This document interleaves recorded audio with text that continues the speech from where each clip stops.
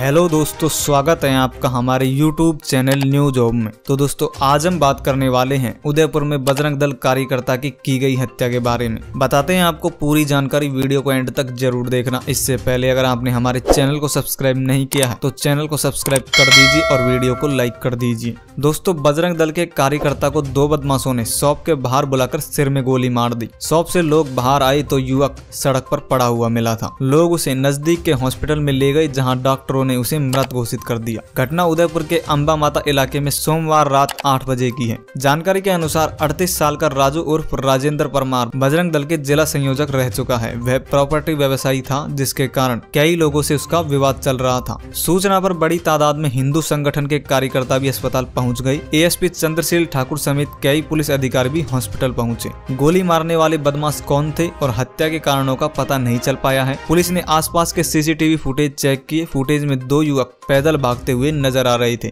आशंका है कि इन युवकों ने ही राजू को गोली मारी है। बताया जा रहा है कि गोली मारने वाले बदमाश पैदल ही परमार के पास आए थे। दोनों ने नज़दीक से सिर में गोली मारी, पास में ही बिंदोरी निकलने से लोग गोली की आवाज़ नहीं सुन सके। थोड़ी देर बाद उधर से गुजर रहे लोगों को परमार सड़क पर अचेत मिला था। दोस्तों, हम आपको बता दें कि राजू की गौवंश बचाने के साथ ही हिंदू संगठन के प्रमुख पदाधिकारी के रूप में उसकी पहचान थी। राजू को अपने ऊपर फायरिंग होने का अंदेशा पहले से ही था। इसी वजह से वह कुछ दिनों से अकेला निकलने से बच रहा था। दोस्तों, राजू पर जेल में बंद हिस्ट्री सीटर का हत्या का शक बताया जा रहा है। मृतक राजू का हिस्ट्री सीटर दिलीप नाथ के साथ कालीवास गाँव में ज़मीन को लेकर विवाद चल रहा था। फ़िलहाल दिलीप नाथ तो सेंट्रल जेल में है। कहा जा रहा है की दिलीप नाथ ने अपने गुर्गो से कहकर यह हत्या करवाई है। तो दोस्तों, आप क्या सोचते हो? इस पूरी घटना को लेकर कमेंट सेक्शन में अपनी राय ज़रूर दें। आज के लिए बस इतना ही। मिलते हैं नेक्स्ट वीडियो में। तब तक के लिए जय हिंद, वंदे मातरम।